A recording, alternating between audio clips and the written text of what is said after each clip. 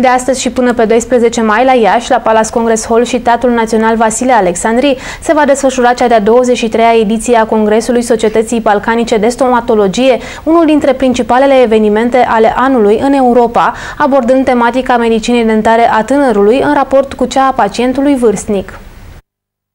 Evenimentul este un reper pentru lumea medicală din Europa și este prezidat de profesor universitar dr. Norina Forna, președintele ales al Societății Balcanice de Stomatologie.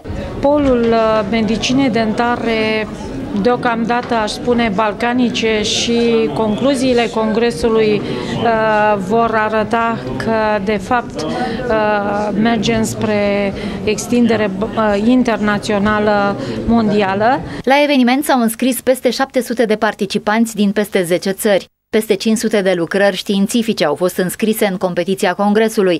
România găzduiește congresul BAS pentru a patra oară, însă este pentru prima dată când acesta se va desfășura la Iași. Prin reunirea multor borduri uh, care guvernează politicile de sănătate în medicina dentară internațională, uh, Iașul le găzduiește.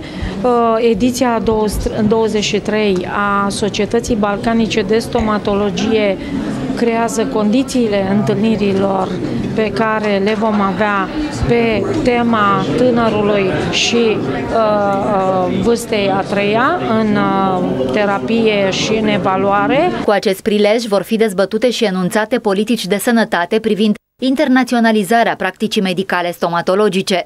Câmpul acesta de discuții uh, va crea punți de legătură cu tot ce se numește domeniul medicinii dentare, pornind din trecut, prezent și uh, politicile viitoare de sănătate. Uh, premisele congresului FDI la Buenos Aires, care va avea loc în luna august-septembrie, vor întări concluziile pe care noi aici, împreună cu bordul FDI, le vom uh, crea. Manifestările Congresului vor avea un caracter interdisciplinar, adresându-se atât practicienilor, medicilor stomatologi, cât și specialiștilor din domeniul medical și tinerilor medici rezidenți și studenți.